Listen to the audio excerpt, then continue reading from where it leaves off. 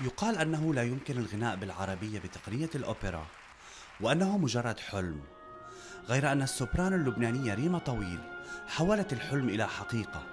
فبعد سنوات من الغناء الأوبرالي بلغات عدة قررت ريما طويل إدخال لغتها الأم العربية إلى ميدان الأوبرا عبر حفلة موسيقية هنا في باريس عنوانها أورينتارياس أي ألحان من الشرق.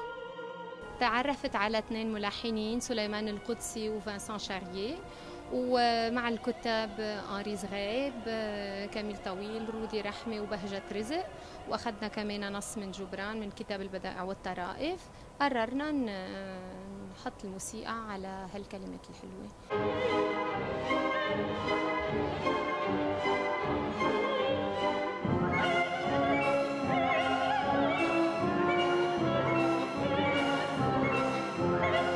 هلا أنا من ناحيتي أنا الشخصية مساهمتي اقتصرت على نصين واحد بيتناول حتشبسوت يعني الملكه الفرعون بالمصر القديمة والثاني قرطاجة مدينة قرطاجة. هي للحقيقة النصوص بتناول مختلف الحقبات التاريخية وكمان مختلف المواضيع.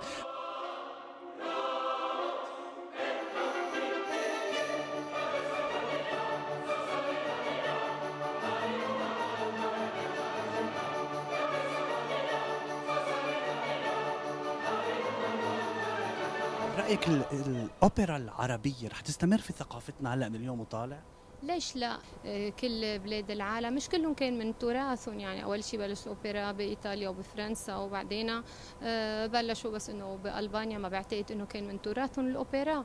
حضرتك لما بتروح بتشتري آه، سي دي بالروسي مثلا أنت مش ضروري تكون تتكلم اللغة. أنت ما بتكون فهمان روسي يمكن. ما بعرف إذا بتحكي روسي حضرتك ليش؟ بتروح بتشتري الأوبرا وبتقول لأنه الموسيقى عجبتني. ليش تما حدا بكرة بده يسمع لحن بالعربي؟ كمان بده يعجبه بده يقول بقول بدي أروح أشتري.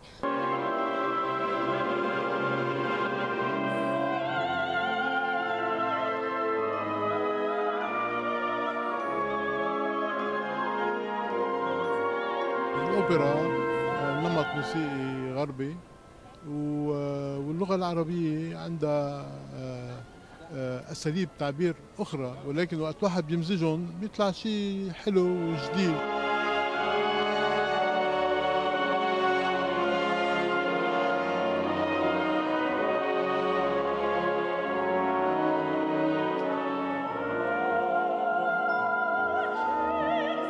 فخورين. اولا إنه بصالة زي هاي مهمة جدا في باريس إنه يكون في عنا مغنية عربية لبنانية. والجمهور الموجود مبين عليه جمهور بقدر الموسيقى وبحبها.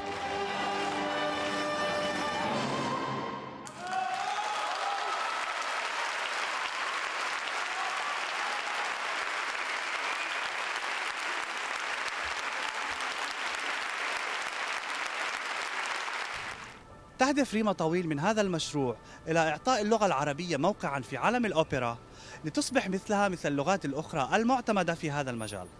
ليث بزاري العربية باريس.